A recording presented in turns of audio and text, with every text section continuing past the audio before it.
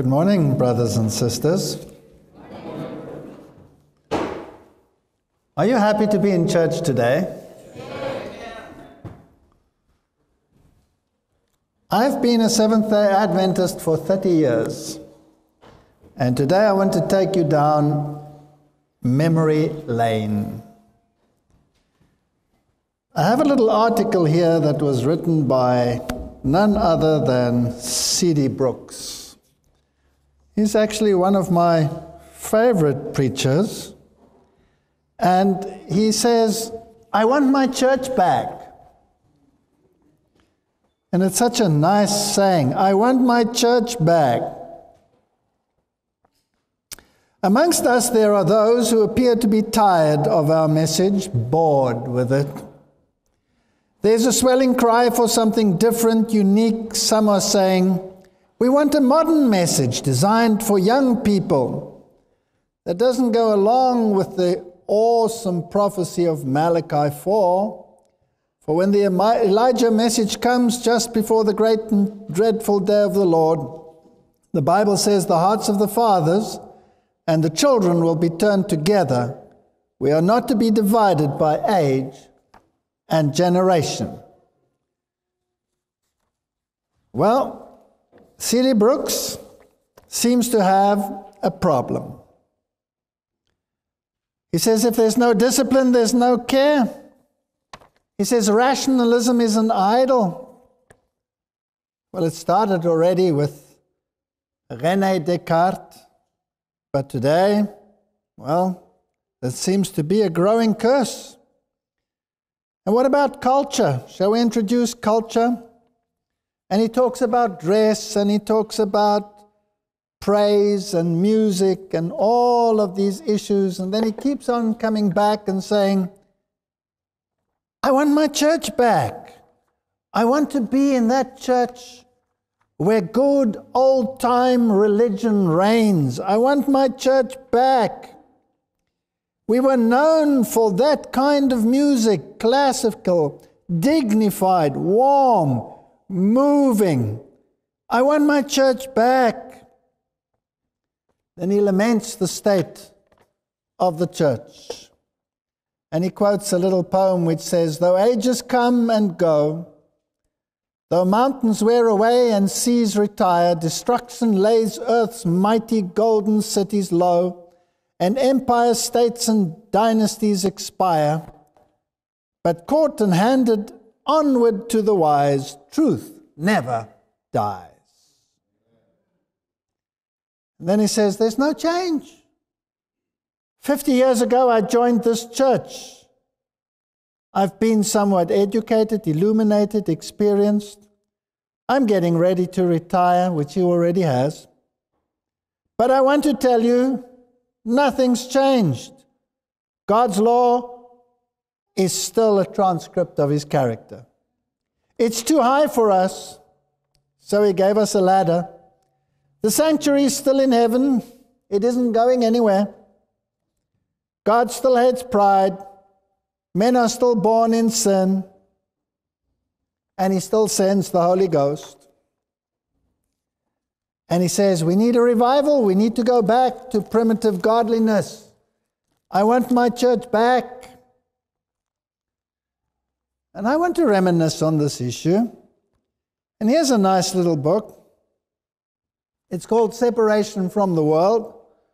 And the author, author is one Charles H. Watson, president of the General Conference of Seventh day Adventists, 1930 to 1936. This is old fashioned stuff. Did you know that? Old fashioned stuff. Good grief. Did you know the gospel is 2,000 years old?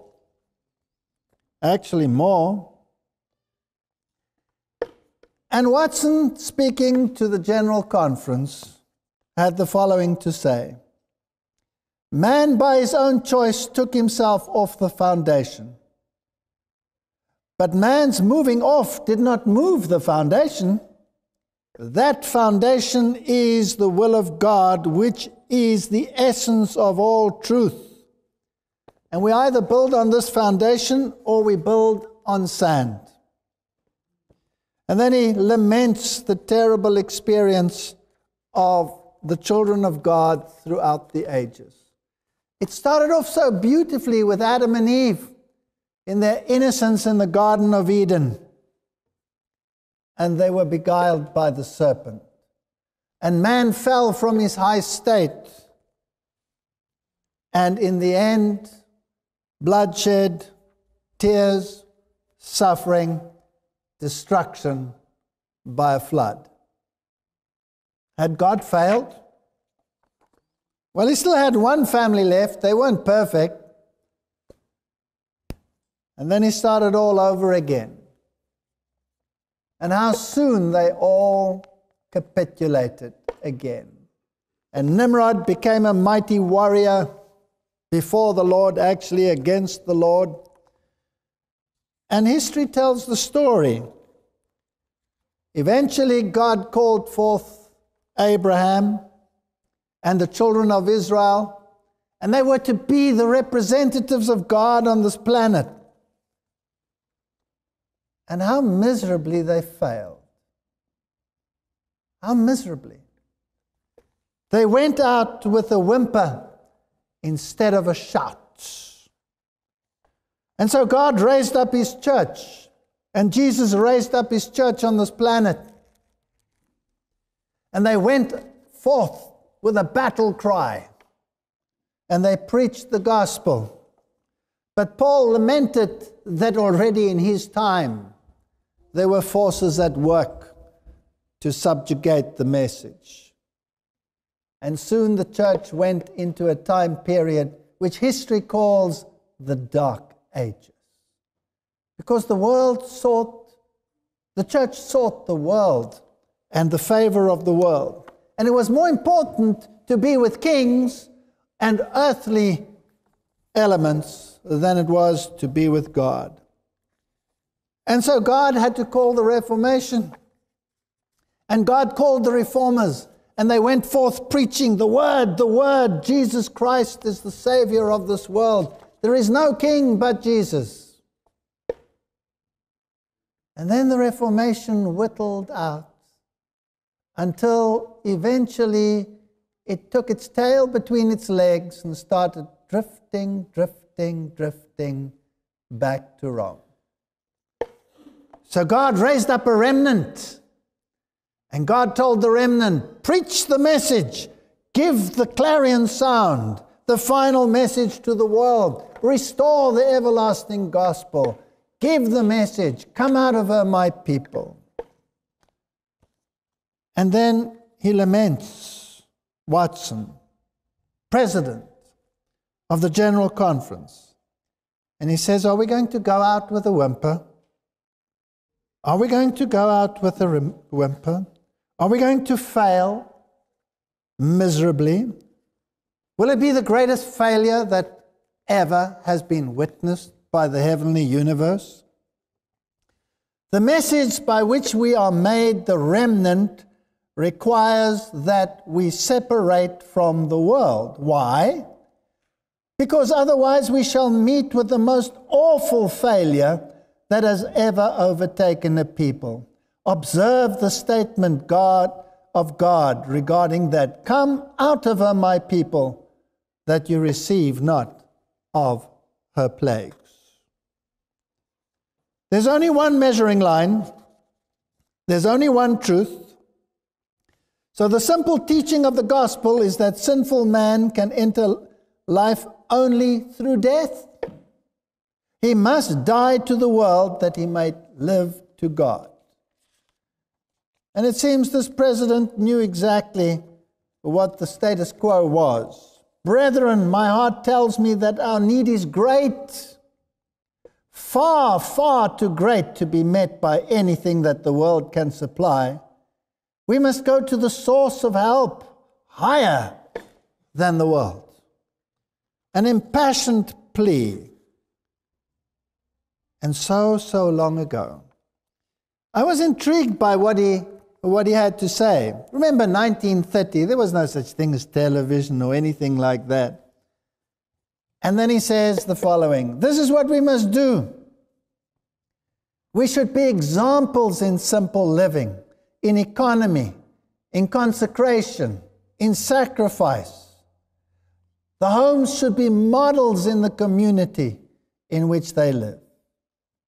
And secondly, our workers should be examples in social relationships. They should not give license by their presence or in any other manner to the attendance of the theater or the movie, to the commercialized baseball. Good grief, what's wrong with this president? Of other professional sports, to the worldly party. And then he says, point number three the preacher of the gospel has no part to act as a politician. His mission is to all men. He should keep free from class prejudice, racial rivalries, and national animosities. The servant of the Lord must not strive, but be gentle unto all men, apt to teach, patient, meek, instructing those who oppose. Our workers should teach and exemplify in their lives and homes the principle of healthful living. And he runs down this list.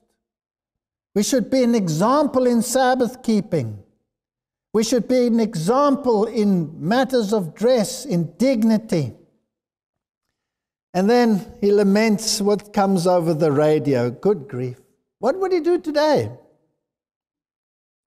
He says Christ's true representative will make careful selection of that which comes over the radio.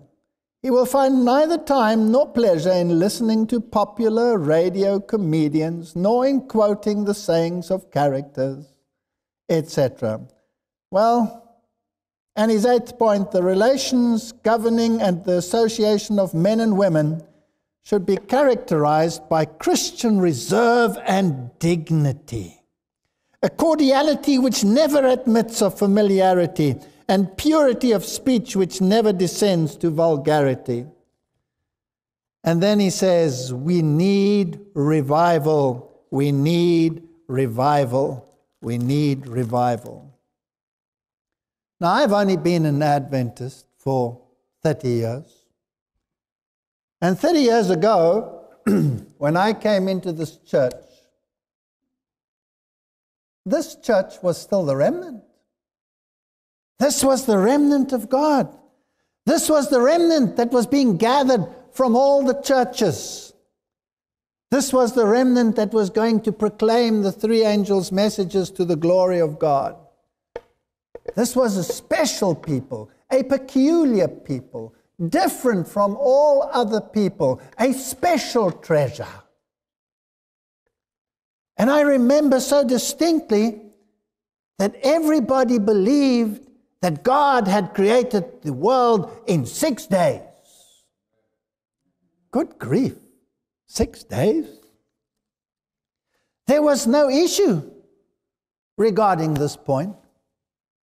In six days, He had created the heavens and the earth. And He was our Savior, and He was ministering in the sanctuary above and he had entered into the most holy place in 1844.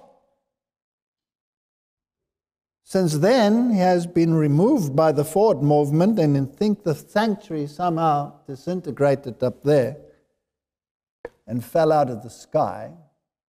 But as C.D. Brooks says, the sanctuary is still there, even if people want to remove it from its foundations. Truth is truth. 30 years ago, when you walked into a Seventh day Adventist church,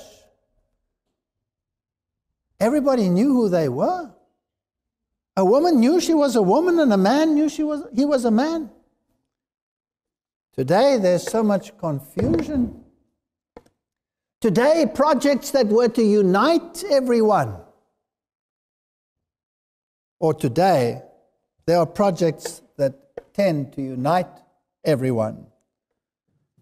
Well, in those days, there were projects to separate from the world. Things have turned round, things have become strange. What has happened to our church? Has truth language or has our attitude changed? I read here in Proverbs chapter 7 a portion that perhaps can be interpreted in different ways. Chapter 7, verse 1 My son, keep my words and lay up my commandments with thee. Remember that Jesus said, My, my commandments are not burdensome. My yoke is easy, my yoke is light. There are some people that say when Jesus was a carpenter that he probably manufactured yokes, nice, light yokes for oxen. If Jesus cared about oxen, how much more so will he care about us? And this, this personal touch, my son, keep my words and lay up my commandments with thee. Keep my commandments and live, and my law as the apple of thine eye. Bind them upon thy fingers, write them upon the table of thine heart. Say unto wisdom, Thou art my sister, and call understanding thy kinswoman. So, Solomon's conclu- conclusion as to what wisdom really is can be boiled down to fear God and keep his commandments because this is the whole duty of man. And this is the, the bastion which God created for his remnant. He has cleaved them out of the world using the Sabbath as a knife to bring them into communion with himself so that we recognize where we come from. Because only if we recognize where we come from do we know where we are going. And so he has called us out of the world into his remnant. That's what everybody believed 30 years ago when I joined the church. Today, there are movements which say, no, no, no, we're still a remnant, but we're the glue. We're not separate, we're glue. We have the capacity to glue everyone together because we can reach out to different ones because we have the law, we have Jesus, we have health, we have all of these issues. We're the glue. The Bible says, come out and be separate, not be the glue. So, where is this wisdom, Solomon? Proverbs 7, verse 5 says, That they may keep thee from the strange woman, from the stranger which flattereth with her words. For as at the window of my house I looked through my casement, and beheld amongst the simple ones, I discerned amongst the youth a young man void of understanding. So he's standing in his house. Now, what is the house? It's his church. He's standing in his house, in God's church, and he looks out and he sees there are some going astray, and they are void of understanding. Now, who are these who are without understanding compared to those who have understanding? Daniel chapter 12, verse 3 and they that be wise shall shine as the brightness of the firmament, and they that turn many to righteousness as the stars forever and ever. But thou, Daniel, shut up the words and seal up the book, even to the time of the end. Many shall run to and fro, and knowledge shall be increased. Many shall be purified and made white and tried.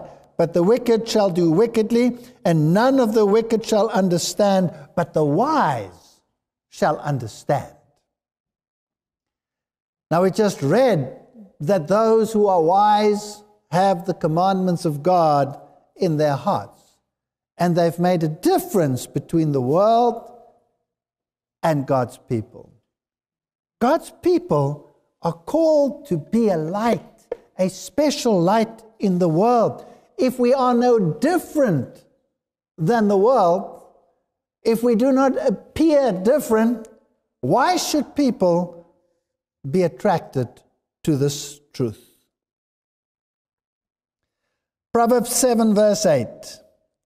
Passing through the street near a corner, and he went the way to her house. So he left from his house and he went to her house. Now, when the Bible uses this symbol of the woman, the pure woman and the apostate woman, then it's talking about the church. And are we drifting? Are we drifting towards her house? In the twilight, in the evening, in the black and dark night. She always works in darkness. She always is clandestine. And what has light and darkness got in common? Why are men attracted to darkness? And behold, there met him a woman with the attire of a harlot and subtle of heart. Now, what is the attire of a harlot? Isn't it crimson? And the Bible describes such a woman in the Bible saying that she wears crimson. She's loud and stubborn. Her feet abide not in her house. Now she's without, now in the street, and lieth in wait at every corner. She's universal, she's everywhere. She's all over, her tentacles are everywhere. and so she caught him and kissed him, and with an impudent face said unto him, I have a peace offering. Ooh, so she's religious. She has a peace offering. I have a peace offering with me this day, and I've paid my vows. She's very religious. Therefore came I forth to meet thee, diligently to seek thy face, and I have found thee. Isn't it sad? When Hezekiah capitulated and he allowed the Babylonians to come from a far country, and he showed them all the treasures of his house how it took a prophet to rebuke him, and how eventually it led to total demise. I have decked my bed with coverings of tapestry, with carved works, with fine linen of Egypt. Well, the linen definitely wasn't from Israel. The linen was from Egypt. And I've perfumed my bed with myrrh and aloes and cinnamon. Come, let us take our fill of love until the morning. Let us solace ourselves with love. And then she says, verse 19, For the goodman is not at home. He has gone on a long journey. Now, the New King James renders that, For my husband is not at home. He has gone on a long journey. And he has taken a bag of money with him and will come home at the day appointed. Who's she speaking about? Isn't she te- speaking about the Lord Jesus Christ? So he has gone on a long journey. But not only that, he took the money with him. And she's not very happy about that. So let us do our thing down here because he has taken the money with him. Where should our treasure be? Down here? Or should we wait for him to return with his reward? Doesn't he say, My reward is with me? Do not lay for yourselves up treasure on this earth where the moth can get at it? No, no. Have your treasure up there. I long for my church. I long for a church that stands for the principles of eternal truth that are laid on a foundation that cannot be moved. When I came into this church 30 years ago, Rome was the Antichrist. Today, the Pope is on the cover of our magazines as an example of humility to all mankind.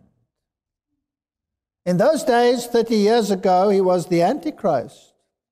In those days, you could preach the three angels' messages and you needed no independent ministry to do it because the church was your platform. Wherever you went, the church welcomed the message. The church stood behind the message. What's happened to that message today? I thought unity projects were for the world outside that had lost their compass and were drifting, drifting, drifting, drifting back to Rome. My husband has gone on a long journey and he's taking the money bag with him. I want my treasure down here on earth. So come, let's get together. Let's unify.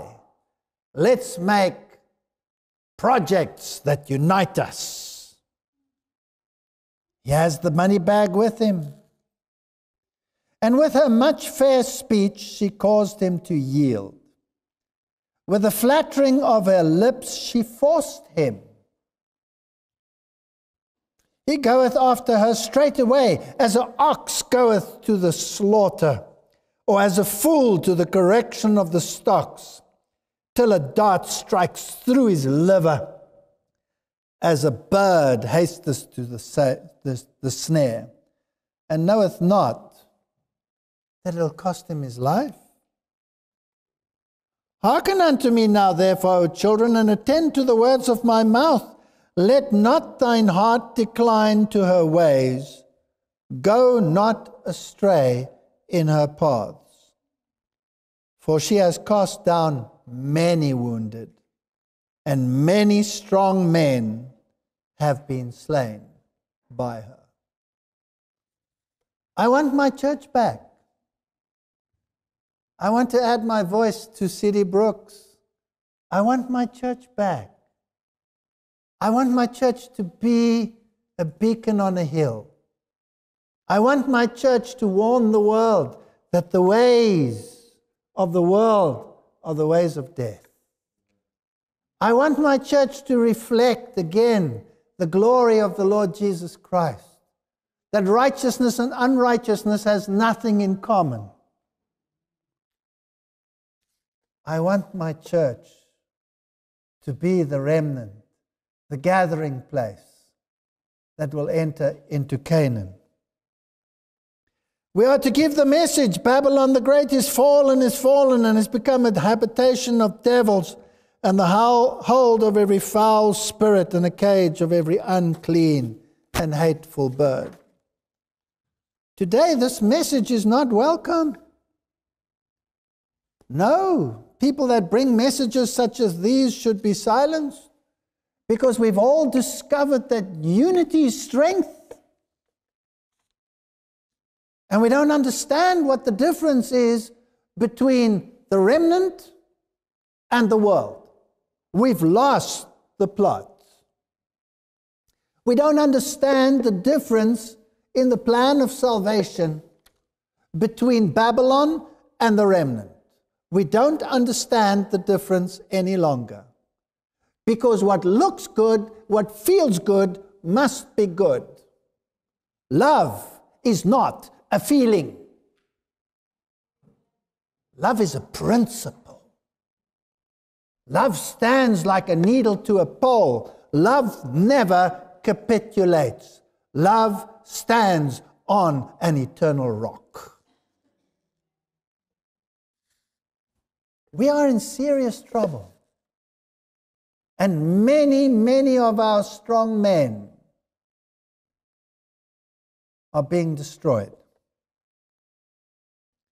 Babylon is said to be the mother of harlots. By her daughters must be symbolized churches that cling to their doctrines and traditions. an unlawful alliance with the world must be avoided. The message of Revelation 14 announcing the fall of Babylon must apply to the religious bodies that were once pure and have come become corrupt. Since this message follows the warning of the judgment, it must be given in the last days. Therefore, it cannot refer to the Romish church, for that church has been fallen for many centuries. So, who does it refer to? And if the Bible says, come out of a my people, where are God's people today? Where is the great majority of God's people? Must be in the fallen churches that profess to love Jesus Christ. We think there's no difference today between Rome and the other churches. We all profess Jesus Christ. But the Bible is very clear. The Antichrist is still the Antichrist. The mark of the beast is still the mark of the beast. And nothing has changed. The eternal platform is unmoved. There is no difference. The Protestant Reformation took Jesus out of the quagmire of darkness and put him back on the pedestal where he belongs. The Protestant Reformation put Jesus back as the only Savior of the world. It put the atonement in the center. Without the shedding of blood, there is no forgiveness of sins. This is the core of Christianity. This is Bible based Christianity. Rome teaches that Christ did not have to die for you. You are not saved by the blood of the Lamb, you are saved by his works. And those works need not have been unto death. Therefore, the atonement is negated. So you are saved by the works and not by the blood. But the Bible says, without the shedding of blood, there is no forgiveness of sins. The Bible teaches us that Jesus Christ became man. That Jesus Christ came all the way down. He's the ladder that connects us to divinity, and in his humanity connects divinity to humanity.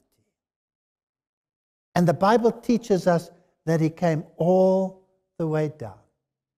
The Bible teaches us that Jesus Christ touched the leper. He's the only one that reached out and touched him. When a leper came by, the leper would shout, Unclean, unclean. And what did the people do? They'd scatter. What did Jesus do? He went and he touched the leper, and they became clean. Jesus Christ came all the way down. Catholicism teaches Jesus did not come all the way down. He's too holy to come all the way down to this fallen humanity. And therefore, they create a circumstance, a vehicle, a spacecraft, if you like, whereby he can stay above the level of the earth. And they declare this through the dogma of the Immaculate Conception, where Mary is conceived immaculately, so that there is an immaculate vehicle for the Son of God to come to humanity. So, as Mother Teresa said, no Mary, no Jesus. And in one of my sermons, I wanted to remind her excuse me, no Jesus, no Mary. Because before Abraham was, he was. And because he didn't come all the way down, he needs mediators. So you place the church in the mediating position and you place the saints in the mediating position, and you place Mary in the mediating position. And Satan had always accused God of being unrighteous. Because how dare God throw him out of heaven and then redeem man? If God was to going to be constant, then God had to be constant in his actions. And if the wages of sin is death, then justice demands death. So Satan said, You cannot forgive man without forgiving me. Otherwise, you are not what you say. You cannot be gracious and just at the same time. The two exclude each other. And that is precisely what Catholicism teaches. It teaches that God, in order to be just and gracious, forgives you your sins, but you still have to pay for your sins. That's salvation by works you still have to pay for your sins. And in order to make you pay for sins which are forgiven, they invent purgatory, which doesn't occur in the Bible. And there in purgatory, you pay for the sins which are forgiven. That's salvation by works. The Bible teaches that Jesus died for you and for me, and he paid the full price. And I ask myself the question why do our people not understand this? Why do they not comprehend the difference between these two plans of salvation, where the one is no salvation at all, but a means of attaining greatness in your own power, paying your own price? They deny the atonement. You pay for your own sins. Jesus paid it all. All to him I owe. They cannot sing that. They cannot sing that. And then he has even granted all power to release from the suffering to his church. He hasn't come all the way down. You don't go to him, you go to the church. And so Pope Francis has just announced that from December this year, for one year, will be a special time of grace where there will be indulgences because the church will release people from the suffering of sin on the other side. Excuse me, how does this work logically? How do you logically release from the suffering and consequences of your sin if your dogma says justice demands you pay. Well, they've developed a nice little trick, which they call the, the storehouse of the church, where the additional merit of all the saints that went before and the additional merit of Mary, who did much more than is necessary to go to heaven, and the saints too, where the Pope can take that additional merit and apply it to someone who has too little merit and release him from the bondage of purgatory. And this is what is being hailed as a Christian form of salvation. It negates Jesus, it marginalizes it, it puts a mere fallible man on the throne to take his place, and then it makes him infallible. And because he is infallible, by dogma, he cannot err. And because it cannot err, it is altogether necessary for every person to be subject to that power in order to be saved. How is it possible that we have so many projects in the world which seem to indicate that there is no difference between Protestantism and Catholicism this day? I was intrigued to read in the spirit of prophecy where it states Jesus was a Protestant. Jesus protested against the inadequacies of the teachings of the Pharisees. Jesus set straight the record. And soon we will have to give a loud cry because we are heading towards a time such as never was, when the law of God will be made void, where it has been placed in the latest encyclicals. The Lord calls for a renewal of the straight testimony born in years past.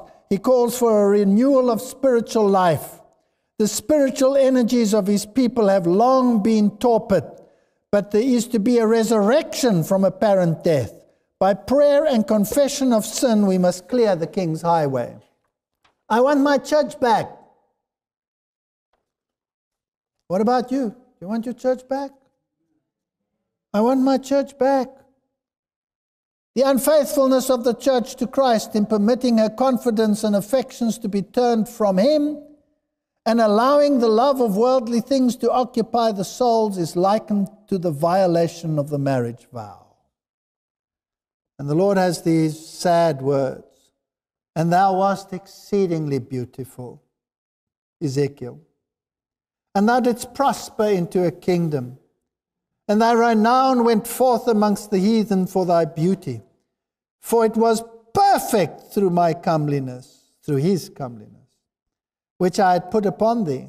She wore the righteousness of Christ. there was not one thread of self woven into this cloth. Salvation was entirely as a consequence of the merits of Christ. But, it, but thou didst trust in thine beauty and playedst the harlot because of thy renown. As a wife treacherously departs from her husband, so have you dealt treacherously with me, O house of Israel. And a wife that committeth adultery, which taketh strangers instead of her husband? Where are we in the stream of time? She writes Many of the Protestant churches are following Rome's example of iniquitous connection with the kings of this world. And in the latest movements in the United States, the church has claimed, the evangelical church has claimed officially, church and state must work together. Our people are now being tested as to whether they will obtain their wisdom from the greatest teacher the world has ever known or whether they will seek it elsewhere. I want my church back. I remember the days 30 years ago when I went even to Europe and spoke on the platform of the church. And wherever the message was broadcast, the church was there. It was in harmony with the church. Today, this speaker is banned, that speaker is banned, this one is destroying our ecumenical relationships, that one's doing this, the other. And we have spirits of Pentecostalism coming into the church. 30 years ago, spiritual formation was an occult spiritualism practiced by Jesuits. Today, it seems, it's welcome in some circles. With the Roman power and under the influence of the threefold union, this country will follow in the steps of Rome and trample on the rights of conscience. We are approaching that time. Protestantism, she says, will change. Now, in the recent series that we just recorded, we looked at a document that is celebrating the coming together of all the churches to celebrate the 500th anniversary of the Reformation. And in that document, one is horrified to read that every single pillar of Protestantism has been surrendered. Every single one. Down to the acceptance of the Eucharist as the literal body and blood of Christ, down to the acceptance that priests can forgive sins, down to the acceptance of the infallibility of a mortal born in sin, with not a word of remonstrance. She writes, There's just as wide a gulf today between Rome and Protestantism of Luther, Cranmer, Ridley, Hooper, and the noble army of martyrs as there was when these men made the protest which gave them the name Protestants. And then I want to read you this quote from her own pen Christ was a Protestant. He protested against the formal worship of the Jewish nation, who rejected the counsel of God against themselves. He told them that they taught for doctrines the commandments of men, and that they were pretenders and hypocrites, whitewashed sepulchres, beautiful without, but full of impurity within. The reformers date back to Christ and the apostles. They came out and separated themselves from the religions of form and ceremonies. If we are a remnant, if we are called by God as a gathering place of those who choose rather to believe the Bible as it stands, then we must be a remnant through and through. There can be no half measure. You cannot be partly of Christ and partly of Belial. You have to be either all of Christ or all of Belial. I want my church back. I want it back. A prayerful study of the Bible would show Protestants the real character of the papacy and would cause them to abhor and shun it. Today it is putting forth such a fair face, and people are duped left, right, and center. And our great men, many of our leaders, are putting out efforts to silence people who will expose this power. I want my church back. We are to enter into no confederacy with the world, supposing that by doing so we would accomplish more. If any stand in the way to hinder the advancement of the work in lines that God has appointed, they will displease God. No line of our faith that has made us what we are is to be weakened. We have the old landmarks of truth, experience, and duty. We are to stand firmly in defense of our principles, in full view of the world. We're not to go out with a whimper. Is God's cause going to languish again? Is it going to fade as ancient Israel faded when it said, We have no king? but Caesar? Or are we going to stand up as a people? Are we going to say, enough is enough? We don't want syncretism. We don't want worldly worship synchronized and mixed and mingled with heavenly worship. We want to sing as angels sing.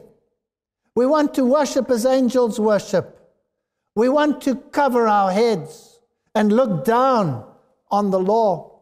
We want to look at the mercy seat and understand the plan of salvation. We want to know who our Savior is. We want to stand for His righteousness. We want to stand for His law because it is the transcript of His character. We have nothing to be ashamed of. Nothing. Jeremiah writes O Jerusalem, wash thine heart from wickedness, that thou mayst be saved. How long shall thy vain thoughts lodge within thee? For a voice declareth from Dan and publisheth affliction from Mount Ephraim. Make ye mention to the nations, behold, publish against Jerusalem that watchers come from a far country and give out their voice against the cities of Judah. The watchers are here. They're on our doorstep. They're going to speak before Congress. As keepers of a field are they against her around about, because she has been rebellious against me, says the Lord.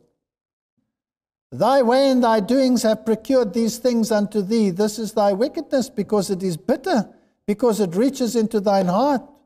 My bowels, my bowels, I'm pained at my very heart. My heart maketh a noise within me. I cannot hold my peace, because thou hast heard, O my soul, the sound of the trumpet, the alarm of war. Like Jeremiah, I would say, I can hear the sound of the trumpet. I can hear the sound of war. And many great men are sleeping on Egyptian linen. Destruction upon destruction is cried, for the whole land is spoiled.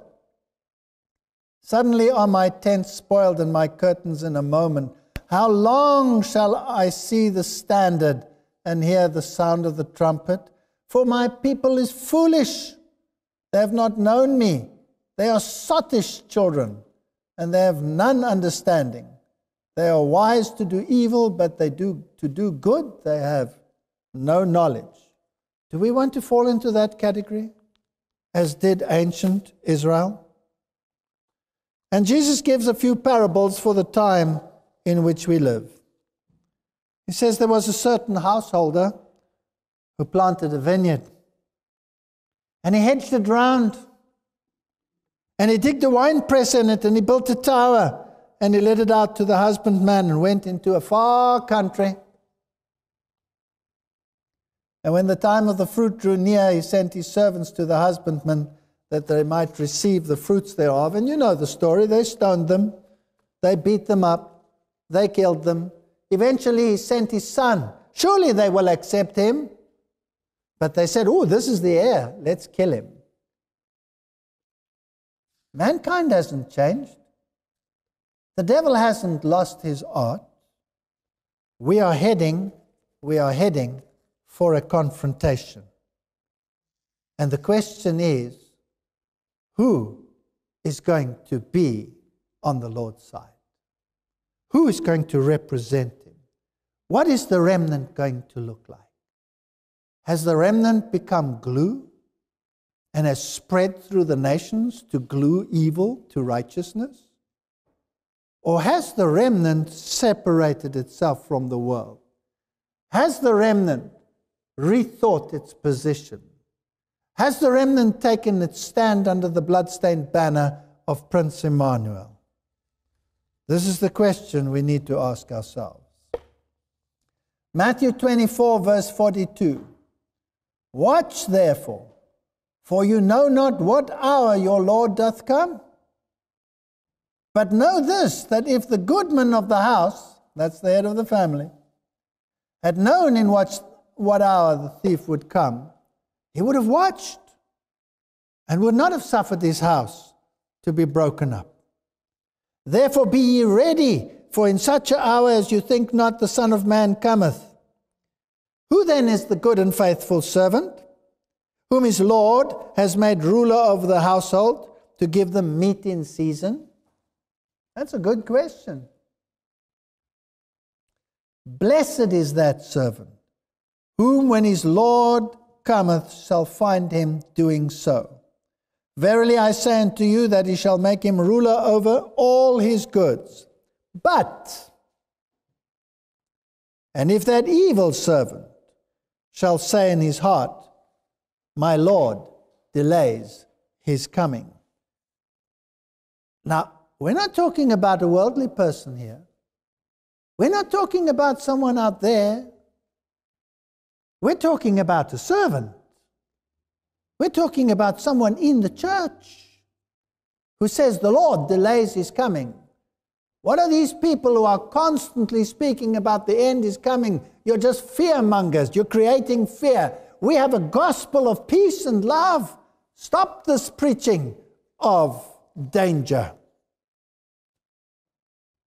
We have many, many strong men who think in these lines.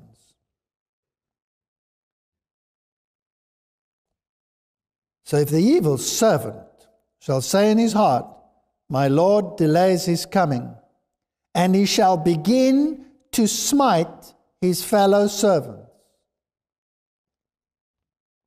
In other words, if someone sets himself up within the church as a leader and starts to smite the fellow servants that would bring the message, they are in serious trouble.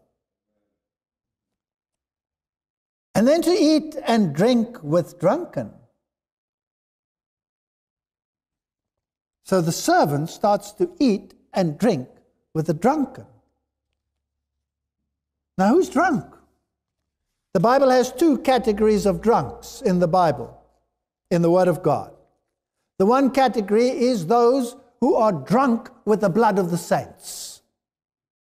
We know who that is.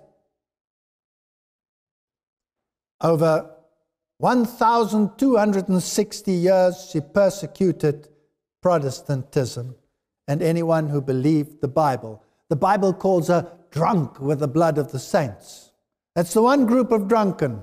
But there's another group, those who are drunk with the wine of Babylon, who have taken her doctrines, who have given up the special knowledge of the Word of God for the sake of worldly attention. So if you start eating and drinking with the drunken, then you are in the ecumenical movement. And then you start beating your fellow servants. The Lord of that servant shall come in a day when he looketh not for him, and in an hour that he is not aware of it, and shall cut him asunder and appoint him his portion with the hypocrites.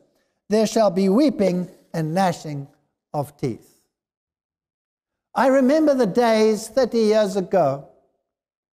If you were a minister in this church, you could preach anywhere in the world. Today you cannot. There are bars and blockages and stoppages.